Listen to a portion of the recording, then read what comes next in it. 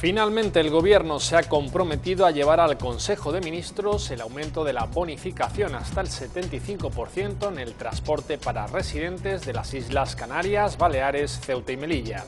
Una medida que el Gobierno de Mariano Rajoy incluyó en los presupuestos generales del Estado y que el nuevo Gobierno socialista pretendía dilatar en el tiempo hasta en seis meses con la excusa de la tramitación de un Real Decreto que la dote de seguridad jurídica.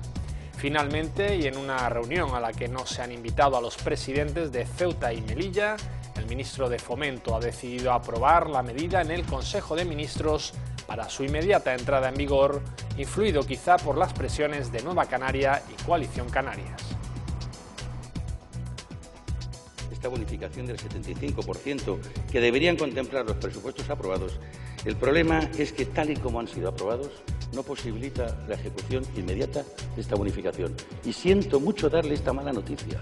En esa enmienda se puso que se facultaba al Gobierno. Hay un Consejo de Ministros el viernes y la semana que viene. Y lo que le exigimos, los canarios, los miles de estudiantes que están pendientes de sacar sus billetes, los abuelos que se van a reunir con sus hijos, los padres que van a salir y que estaban pendientes de esta información, es que le den la prioridad a un asunto vital para los canarios, la gente de y de Ceuta y Melilla. Han tenido la facultad de sacar un decreto de televisión española. Esto es un derecho. Esto no es un tema de perritas, como decimos en Canarias. No quisiéramos pensar que esos 200 millones y esas perritas están pesándolas para autopistas del peaje. Es derecho de los canarios. Y póngase las pilas. Buenas noches. El paro ha crecido en Ceuta durante junio en 110 personas, lo que sitúa la cifra de demandantes registrados en las oficinas de empleo en poco menos de los 12.000 desempleados. De estos, 7.000 son mujeres. Las afiliaciones a la seguridad social también han registrado una caída, aunque con respecto a junio del año pasado se registra un incremento superior a las 600. 76 puestos de trabajo se ofertan en la Feria del Empleo que por segundo año organiza la Cámara de Comercio y que arranca este miércoles. La oferta de disciplinas laborales es amplia y diversa, ajustándose así a una demanda global, sobre todo de jóvenes que buscan acceder al mercado laboral. En este caso hay desde guardias de seguridad, pasando por azafatas, eh, personal relacionado con la hostelería, estamos hablando desde cocineros, pinche de cocina, estamos hablando de encargados de, de cafetería e incluso camareros, ¿vale? Y luego hay profesores, hay montadores eléctricos, bueno, montadores eléctricos. Y la Guardia Civil ha interceptado a un total de 21 inmigrantes en las escolleras y zonas anexas al recinto portuario de la ciudad. Días pasados este colectivo había protagonizado diversos robos y peleas en esta zona. Francisco García Segado es el nuevo presidente de la Federación Provincial de Asociaciones de Vecinos de Ceuta después de vencer en las elecciones al anterior presidente Juan Moreno por 48 votos a 15. García considera necesaria una auditoría en las cuentas de la Federación y apuesta por la continuidad de las Brigadas Verdes que manejan un presupuesto de 3,2 millones de euros al año. Vamos a crear una comisión en la cual van a, van a ser mm, los mismos eh, capataces, los mismos, eh, las mismas personas que llevan la Brigada Verde, con una comisión de presidentes que a la cual vamos a velar por esos intereses. Y el Banco de España desmiente que haya dirigido ninguna directriz a las entidades financieras en el sentido de que no acepten ingresos de billetes de 500, 200 y 100 euros, como está ocurriendo y ha denunciado la Confederación de Empresarios. Fuentes del máximo organismo financiero subrayan que cualquier sospecha de blanqueado de capitales debe comunicarse a la policía, pero nunca debe provocar una medida que impida depósitos de dinero de curso legal.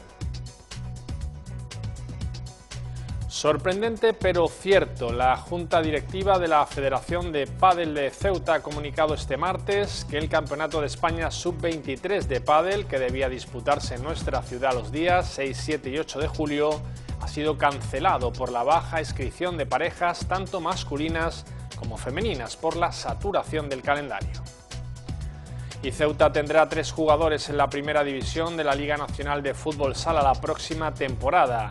Dani Ramos ha renovado con el Human Tequera, con el que acaba de ascender a la máxima categoría, donde coincidirá con los también caballas Hamza Maimón y Hue Casas.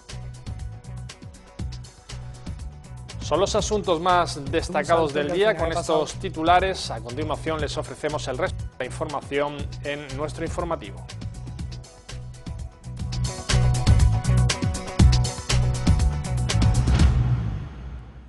El Gobierno ha anunciado que hará efectivo este mismo mes la bonificación del 75% para el transporte regular de los residentes de Baleares, Canarias, Ceuta y Melilla.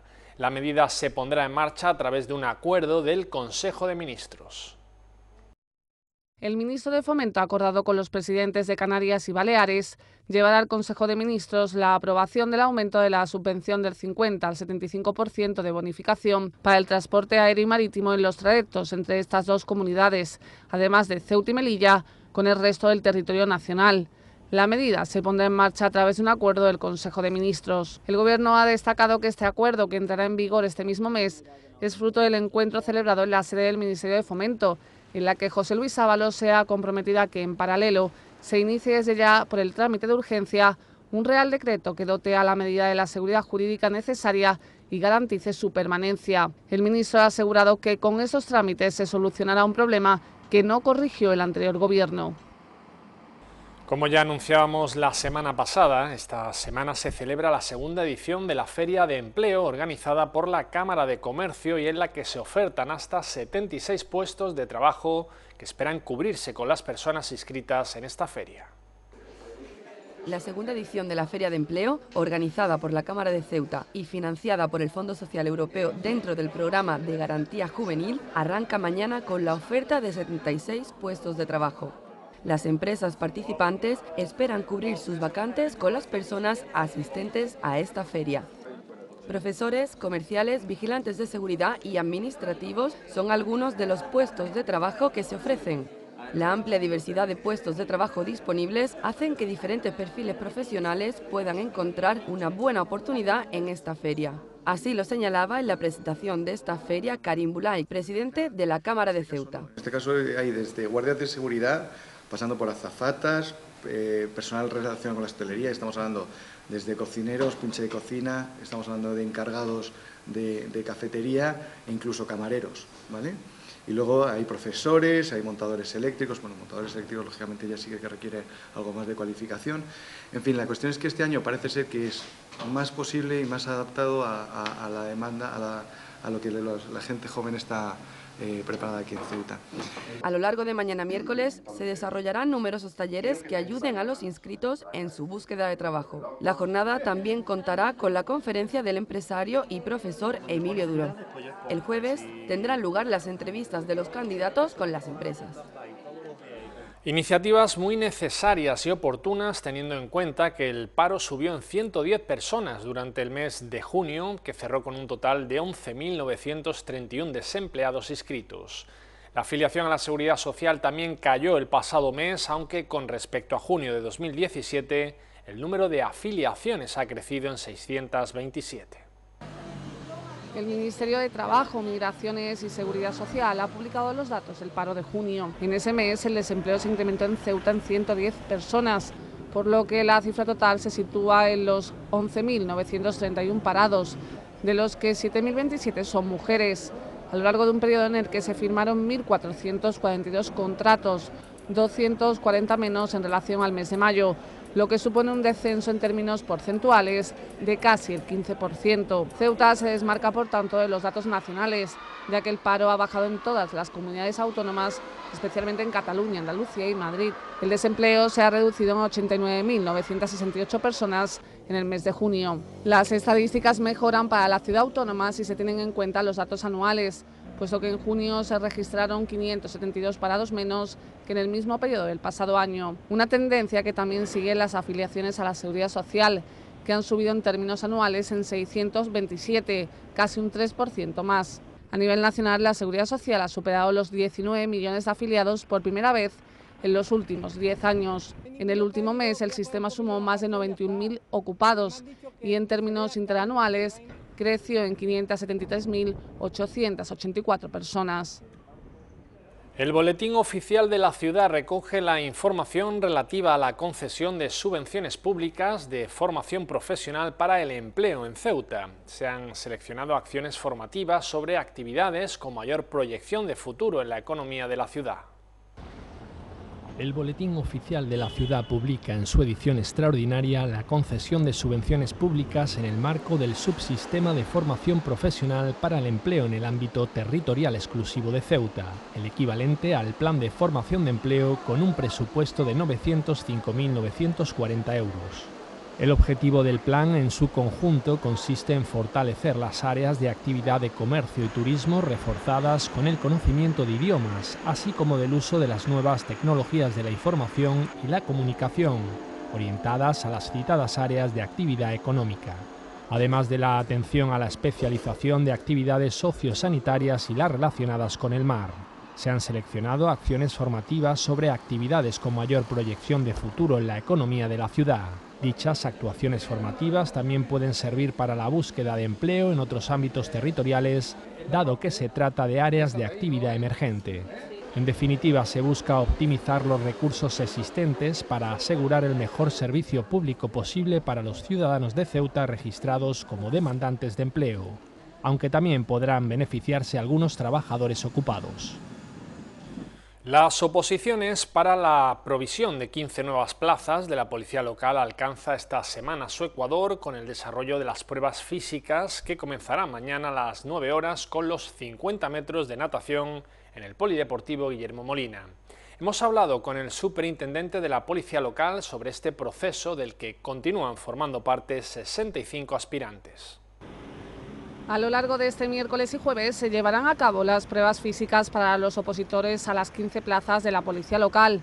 Pruebas que serán eliminatorias y que se dividirán en natación, circuitos y carrera. Al igual que en el psicotécnico, las mediciones las efectuarán empresas especializadas contratadas a través de licitaciones públicas. Son eh, empresas de implantación nacional con reconocida eh, reputación y que realizan de la forma más transparente e imparcial todo lo que es en, el caso psicotécnico la corrección de las pruebas y en el caso de, las pruebas físicas el cronometraje y control de todo y medición de todas las pruebas que se realicen. Antes de las físicas, los aspirantes han debido superar el reconocimiento médico, el psicotécnico que aprobó el 57% de los candidatos y la prueba práctica en la que no hubo suspensos. Era un recorrido eh, en la ciudad a un punto que sacaban de un sobre eh, cerrado eh, de unos 70 recorridos aproximadamente, pues uno de ellos extraía y cada uno tenía al azar un recorrido distinto. De los 65 aspirantes aún en liza,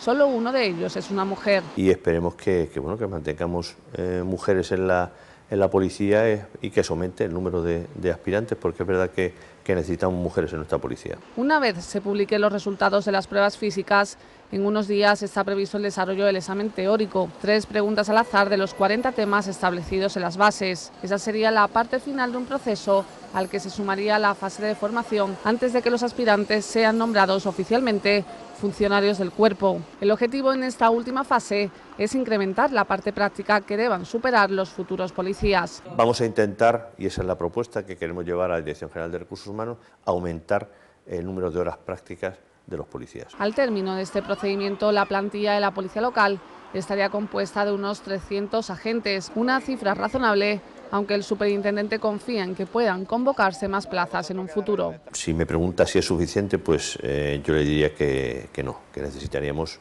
la convocatoria de, de más plazas. La Guardia Civil ha interceptado a un total de 21 inmigrantes en las escolleras y zonas anexas al recinto portuario de la ciudad. Días pasados este colectivo había protagonizado diversos robos y peleas en esta zona. En actuaciones llevadas a cabo en las últimas horas por componentes de la compañía fiscal de la Comandancia de Ceuta y apoyados por fuerzas del GRS comisionadas por esta unidad y embarcación del Servicio Marítimo, procedieron a la realización de un exhaustivo reconocimiento en las escolleras y zonas anexas al recinto portuario de esta ciudad. Durante el operativo desarrollado se han procedido a la interceptación de un total de 21 personas de origen marroquí, salvo un argelino residentes en el CETI, de los cuales 16 eran menores de edad. Una vez trasladados hasta la dependencia de la compañía fiscal y tras los trámites oportunos, fueron entregados al Cuerpo Nacional de Policía a los efectos pertinentes en materia de extranjería. Durante los últimos días se ha tenido constancia que se registraron varios robos en la zona, precisamente en el muelle de Poniente, donde a consecuencia de las obras que se vienen realizando y que impedían que camiones de algunas empresas pudieran encerrarse en las naves allí existentes a cosa de las zanjas abiertas, estos individuos robaron baterías de los camiones por valor de 200 euros cada una, rompiendo incluso las cadenas que los protegían y en la explanada próxima al control de la Guardia Civil, donde también aparcan camiones de empresa, igualmente se produjeron robos en días pasados. El capitán marítimo Jesús Fernández Lera ha informado en delegación del Gobierno que el buque Sam Lion, que fue remolcado hasta el puerto de Ceuta anoche con varias vías de agua que se produjo al encallar en la zona de los isleros, presenta siete tanques dañados, si bien en ningún momento hubo riesgo de contaminación. Capitanía Marítima calcula que el próximo viernes es probable que abandone nuestro puerto para ser reparado en Algeciras o Gibraltar, ya que no puede hacer una larga travesía. Antes habrán de descargar las 40.000 toneladas de cemento que contiene como mercancía. Capitanía Marítima ha hecho el relato de las vicisitudes que protagonizó el buque de transporte de mercancías a granel San León, de 190 metros de eslora y 10 metros de calado, cuando se averió al realizar una maniobra de aproximación fondeando la bahía norte procedente de Turquía. Tenía dañados los dos tanques también laterales de eh, número 3, babor y estribor, los cuatro, babor y estribor, y los cinco, aparte de lo ya dicho del coferdán y el tanque, eh, tanque de combustible. Estuvo valorando en contacto con, con la sociedad de clasificación del buque, el Buró Veritas, y con la Dirección General, con el Director General y el Subdirector General de Seguridad Marítima, eh, que hacíamos con el barco. Y al final se tomó ante, como ya se estaba haciendo de noche y la inspección submarina del casco era imposible hacerla, eh, se decidió eh, por, como precaución y aplicando la normativa que hay sobre puertos refugio, eh, que el barco se metiera en el puerto de Ceuta. Las circunstancias que provocaron los importantes daños en siete tanques pudieron ser consecuencia del desconocimiento de la zona de los isleros, lo que provocó que sin apenas darse cuenta se encontraron encima de las rocas del fondo. El menos de lo que podía, de lo que podía haber sido, porque os acordaréis cuando la última estando yo aquí ya tal con el, el barco egipcio, el Alzahara, ese barco se quedó clavado. Si este barco cae un poquito más hacia tierra, igual es un barco que, hay que desguazar en el mar, o sea, que hubiera sido una pérdida total.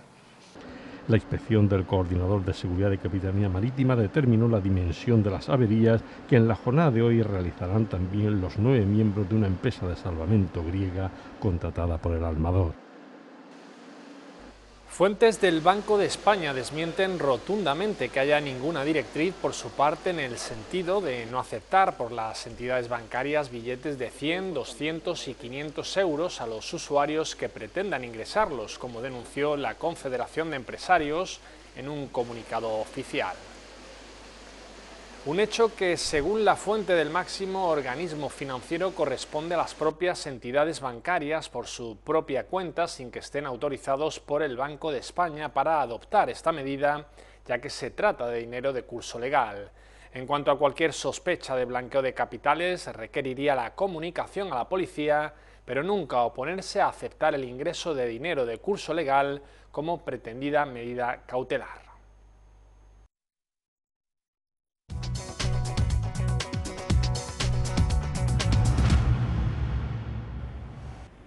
La Consejería de Educación y Cultura ha publicado hoy en la página web de la ciudad y en el tablón de anuncios del Palacio de la Asamblea la resolución definitiva de la concesión de plazas en escuelas infantiles y centros de educación infantil. El plazo para formalizar las matrículas es de 15 días hábiles contados a partir de mañana y hasta el día 24 de julio. Los interesados deberán realizar esta gestión en el centro donde tengan asignada la plaza. El nuevo presidente de la Federación Provincial de Asociaciones de Vecinos, Francisco García Segado, se impuso con comodidad en las votaciones a Juan Moreno. García Segado solicitará una auditoría para conocer las cuentas de la federación. Francisco García Segado es el nuevo presidente de la Federación Provincial de Asociaciones Vecinales de Ceuta después de vencer en las elecciones al anterior presidente Juan Moreno por 48 votos a 15. García Segado, que conformará en breve su equipo de trabajo, avanzaba al poco de proclamarse ganador sus prioridades inmediatas al frente de la federación. El tema de las miser, el tema de, la feria, el tema del borrego ¿no? y, entonces, y el parque mediterráneo. Entonces tenemos unos días bastante apretadillos. Y asegura que seguirán siendo reivindicativos por el bien de las barriadas. Que tenemos unos momentos muy difíciles y, creo que es el momento de, de pelear, de poner la federación en su sitio y yo creo que con la ayuda de los 64 asociaciones creo que vamos, vamos a levantar esto. Considera necesaria una auditoría en las cuentas de la Federación y apuesta por la continuidad de las Brigadas Verdes por el trabajo que realizan. Vamos a crear una comisión de, en la cual van a, van a ser mm, los mismos eh, capataces, los mismos, eh, las mismas personas que llevan la Brigada Verde, con una comisión de presidentes que a la cual vamos a velar por esos intereses. El presidente saliente de la Federación Provincial de Asociaciones de Vecinos señala que las barriadas están asfixiadas económicamente al no haberse liberado la subvención. Juan Moreno se muestra categórico en su demanda. Llevo una semana o dos semanas diciendo que la última reunión que queda, que es la presentación de, las personas intervenientes de intervención, que den paso ya y desbloqueen el 2015 para que paguen el 2017 o 2018. Pero por lo que veo no hay eh, no hay, no sé, los políticos parece que no quieren, o el presidente no se entera de lo que está ocurriendo, pero las asociaciones de vecinos están arruinadas completamente. Eh, no por parte de la, de la federación, porque la federación presenta su documento eh, al tiempo y forma y siempre. Entonces lo que queremos es que esto se desarrolle ya de una vez, que termine del 2015, que paguen el 2018, porque es una ruina para las asociaciones de vecinos. La edición del Voce de hoy recoge las bases para la elección de las reinas de las fiestas patronales que se celebrarán el próximo 13 de julio. A esta elección en sus distintas categorías podrán optar las candidatas que previamente se hayan inscrito en su asociación de vecinos.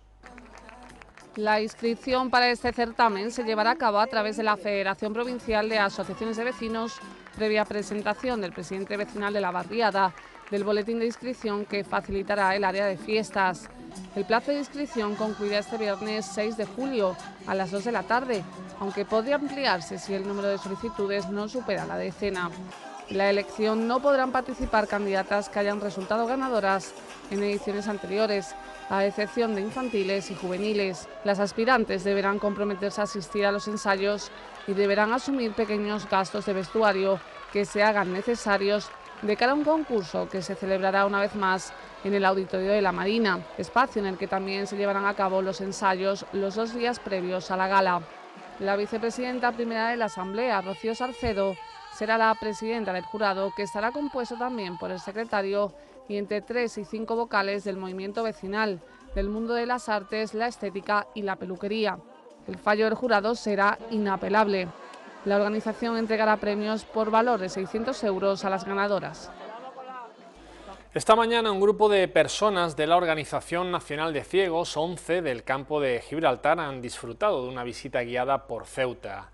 Es el segundo grupo de esta organización que elige la ciudad como destino turístico.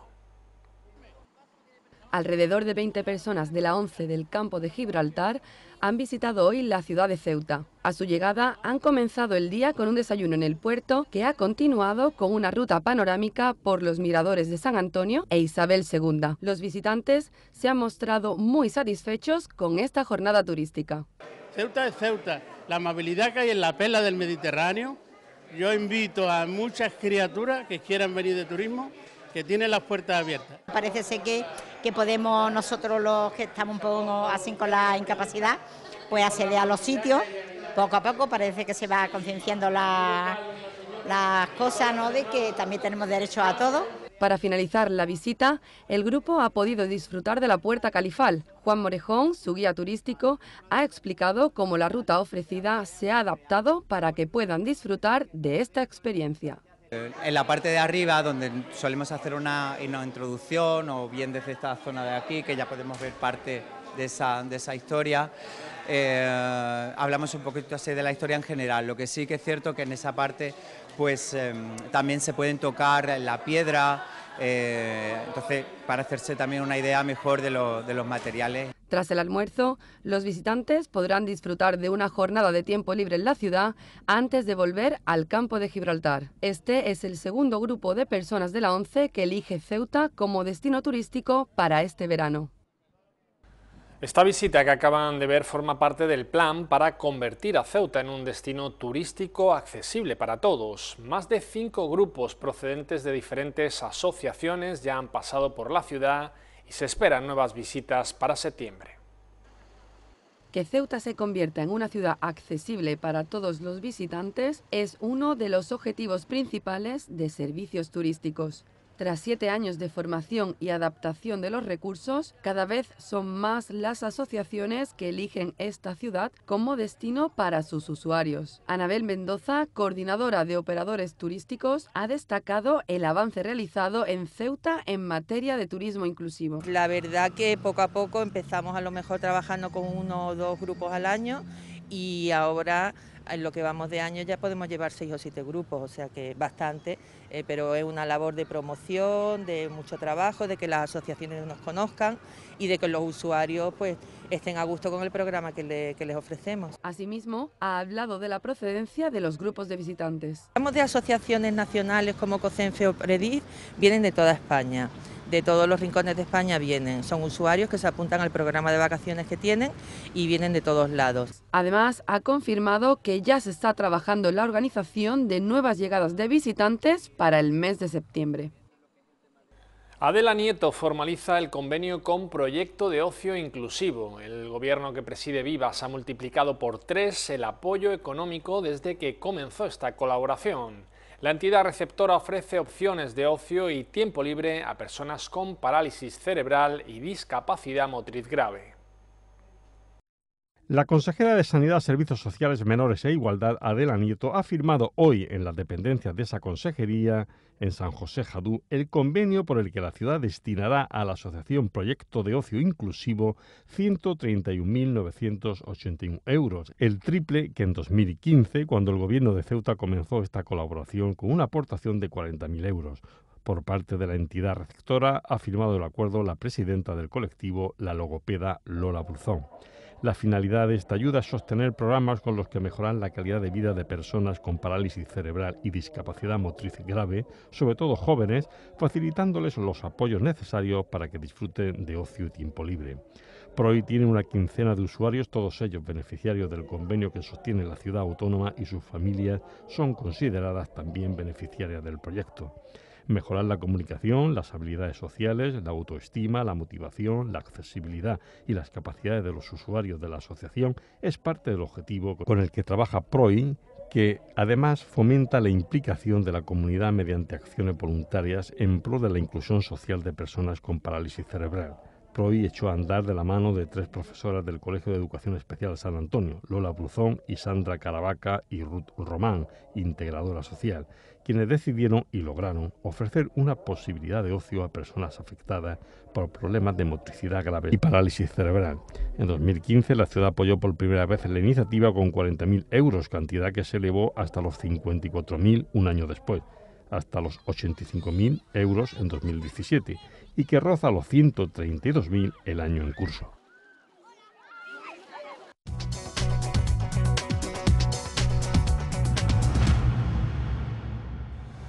Sorprendente pero cierto, la Junta Directiva de la Federación de Pádel de Ceuta ha comunicado este martes que el Campeonato de España Sub-23 de Pádel, que debía disputarse en nuestra ciudad los días 6, 7 y 8 de julio, ha sido cancelado por la baja inscripción de parejas tanto masculinas como femeninas por la saturación del calendario. La Federación de Padel de Ceuta ha explicado en una nota de prensa que tras muchos esfuerzos y haber luchado hasta el final por la celebración del Campeonato de España Sub-23 con el apoyo de la Federación Española de Padel y de la Ciudad Autónoma de Ceuta, no se ha podido evitar la suspensión de esta competición que se iba a celebrar en nuestra ciudad esta semana, los días 6, 7 y 8 de julio, en concreto en las pistas del Parque Marítimo del Mediterráneo y del Club Loma Margarita.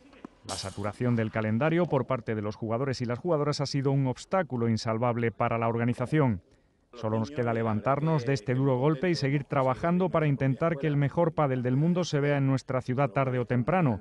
Podemos comprometernos a que no descansaremos hasta conseguirlo, ha añadido la directiva de la Federación de Pádel de Ceuta que preside Agustín Atencia, que ha querido dar las gracias a todas las personas y entidades que la han ayudado y confiado en ella como la ciudad autónoma, el ICD, la Federación Española de Pádel, las federaciones autonómicas y patrocinadores.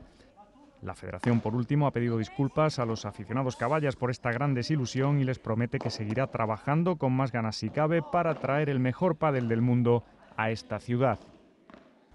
Ceuta tendrá tres jugadores en la primera división de la Liga Nacional de Fútbol Sala la próxima temporada. Dani Ramos ha renovado con el Uma Antequera, con el que acaba de ascender a la máxima categoría, donde coincidirá con los también caballas Hansa Maimón y Hue Casas.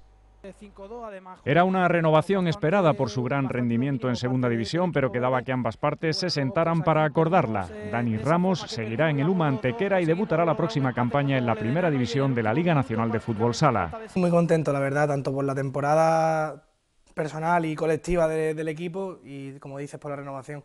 La temporada ha sido muy exigente porque éramos un grupo joven, que mm, el objetivo no era ascender, era ensamblar piezas y y formar un equipo sólido para el año que viene sí poder intentarlo, pero mira, al final las cosas han dado así y hemos podido conseguir el ansiado ascenso que, el club estaba muy, muy ilusionado con, con, hacer lo posible. El Alaceutí ha disfrutado de muchos minutos en los 35 partidos que ha disputado con el conjunto malagueño, en los que con 18 goles ha destacado en la faceta realizadora. Es un salto que al final he pasado un año por, dos años por segunda vez, un año por segunda y al siguiente ya primera, así que la verdad que es difícil de asimilar, pero, pero sí, una temporada para mí en lo personal, pues mejor no ha podido ir, la verdad. Al principio adaptándome un poco a la categoría y luego ya aportando, aportando cosas al equipo y, y sí, como dices con la renovación, pues el año que viene un nuevo salto después de estar un año en segunda a primera que para mí era un sueño. Dani Ramos es consciente de que el salto a primera será complicado para él y para el conjunto antequerano. Yo creo que va a ser muy exigente. Somos uno de los equipos con menos presupuesto, eh, busca jugadores jóvenes, estudiantes, que, que también les le llame la atención el hecho de estudiar, de formar parte de la universidad, de sacarse sus estudios. Y no es lo mismo, no es la misma filosofía que el resto de clubes que tienen presupuesto y tienen dinero y potencial para fichar jugadores contratados, que hayan jugado en primera, que tengan experiencia. Y nosotros somos jugadores jóvenes con mucha ambición y yo creo que mm, vamos a dar la cara sí o sí. El jugador Caballa coincidirá en primera división con dos paisanos, Hamza Maimón, que acaba de fichar por el Palma Futsal, y Huecasas, que continuará en el Cartagena. Es una alegría que, este deporte siga dando frutos, siga dando resultados. El caso también de Dani, que hasta hace poco también estaba ahí. Eh, Tuli, que está en Italia. Al final son varios los jugadores que estamos llegando a segunda, primera, y yo creo que demuestra que Ceuta en fútbol sala es una es una mina de jugadores. Dani Ramos también espera que el Ceutí no tarde en lograr el ascenso. Yo creo que lo merece y el año que estuvo, vamos, el último año que fue el año que jugó el playoff de ascenso, yo creo que la ciudad se volcó mucho y el fútbol, los aficionados al fútbol, yo recuerdo que, era, que llenaban el Guillermo Molina, que incluso estuvo en un puesto de playoff, porque Ceuta tiene condiciones para albergar un equipo en segunda. El Club Natación Caballa ha informado este martes sobre la celebración de sus dos travesías sanado clásicas de cada verano, la del Foso Real del 16 de julio y la del Puerto de Ceuta que será el 5 de agosto. El Club Natación Caballa lo tiene ya todo dispuesto para la celebración de sus dos clásicas travesías sanado del verano. La primera de ellas será la decimoséptima edición de la travesía a nado del Foso Real, que se celebrará el lunes 16 de julio, el Día de la Virgen del Carmen, a partir de las 10 de la noche. El recorrido será desde la playa de la Ribera, a la altura del Club Natación Caballa, hasta la rampa varadero del puerto deportivo. Las inscripciones se pueden realizar en las oficinas del Caballa hasta las 8 y media de la tarde del día de la prueba, y el precio será de un euro. Toda la recaudación que se obtenga será destinada a una causa o asociación benéfica. Y ya en agosto, el domingo día 5, festividad de la patrona de Ceuta, la Virgen de África, tendrá lugar la edición número 65 de la travesía nado del puerto de Ceuta. La prueba comenzará a las 12 del mediodía y el recorrido será desde el muelle Alfau hasta la playa de la Ribera en el Club Natación Caballa. Las inscripciones que pueden realizarse en las oficinas del Club Natación Caballa hasta el 31 de julio tendrán un precio de 10 euros. Se entregará una camiseta conmemorativa y se ofrecerá un ágape a todos los participantes después de la prueba en las instalaciones del club. La Federación de Tenis de Ceuta organiza del 13 al 15 de julio el primer campeonato de Ceuta Mini Tenis Memorial Tele, abierto a todas las categorías de competición, desde mini tenis, mini tenis hasta veteranos más 40. El primer campeonato de Ceuta Mini Tenis Memorial Tele será para las categorías Mini Tenis Sub-10, Alevín, Infantil, Cadete, Junior, Absoluto y Veteranos más 40 años, tanto masculino como femenino. Isabel Jiménez será la directora de este torneo veraniego que se disputará en las pistas del Parque Marítimo del Mediterráneo y que está patrocinado por la empresa Inversiones Inmobiliarias. Según informa la Federación de Tenis de Ceuta, el torneo se jugará en pistas de mini tenis en el ancho de una pista normal, con unas redes más bajas y pelotas de tenis con más baja presión, que darán, según los organizadores, un atractivo, vistosidad y encanto a una competición al alcance de cualquier persona que desee tanto comenzar en este mundo como a los que ya tienen un cierto nivel para disfrutar y pasarlo en grande. La inscripción debe hacerse a través de la página web de la Federación de Tenis de Ceuta en el enlace www.ftceuta.com barra torneos y es requisito indispensable estar en posesión de la licencia federativa, pudiendo inscribirse en un máximo de dos categorías y antes del próximo miércoles 11 de julio a las 12 del mediodía. La inscripción es gratuita para todos los que participen en una categoría y la cuota es de 5 euros para los que se inscriban en una segunda categoría. Los campeones y finalistas recibirán trofeos, el resto de jugadores tendrán derecho a los sorteos de regalos deportivos y habrá una barbacoa tras las finales y entrega de trofeos.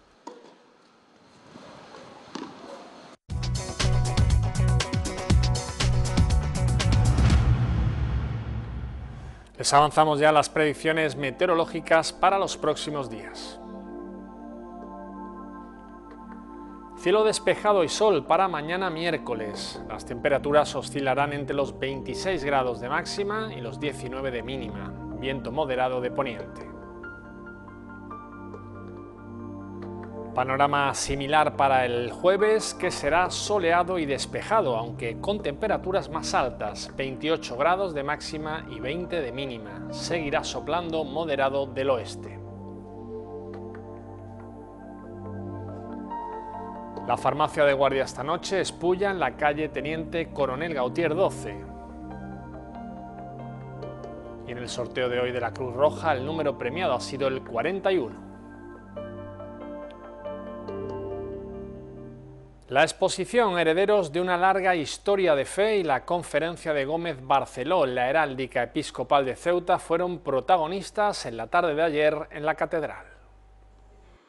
A través de paneles ilustrativos, representaciones pictóricas y arquitectónicas y documentos que dan luz a la historia de la diócesis de Cádiz y Ceuta, la Santa Catedral de Ceuta acogió la inauguración de la exposición itinerante Herederos de una larga historia de fe que detrás de cada escudo también hay una espiritualidad, no solamente es una manera de poner una firma discreta y sigilosa, ¿eh? como a veces parece que viene a ser la heráldica. Yo creo que hay también tras la heráldica una espiritualidad y una El cronista oficial de la ciudad y archivero diocesano, José Luis Gómez Barceló, ofreció la conferencia La Heráldica Episcopal de Ceuta, en la que dio a conocer los escudos conocidos y que conservamos de los obispos de Ceuta. Esa diócesis tan especial que es la nuestra, que, es, que son dos diócesis con un solo obispo, con dos catedrales, más la, la Catedral Vieja de Cádiz, ¿eh? con dos cabildos y dos deanes, no un deán y un abad. Es una situación muy especial, por eso nuestro obispo no pone obispo de Cádiz-Ceuta, sino que pone obispo de Cádiz y Ceuta. La exposición se enmarca en la celebración del año jubilar diocesano por el 750 aniversario del traslado de la sede episcopal de Medina Sidonia a Cádiz, así como los 600 años de la fundación de la sede de Ceuta. Ha sido lo más destacado en las noticias de la pública en este martes 3 de julio. Llega ahora el programa de flamenco con José Escobedo y después la conferencia de José Luis Gómez Barceló, la heráldica episcopal de Ceuta. Hasta mañana, buenas noches.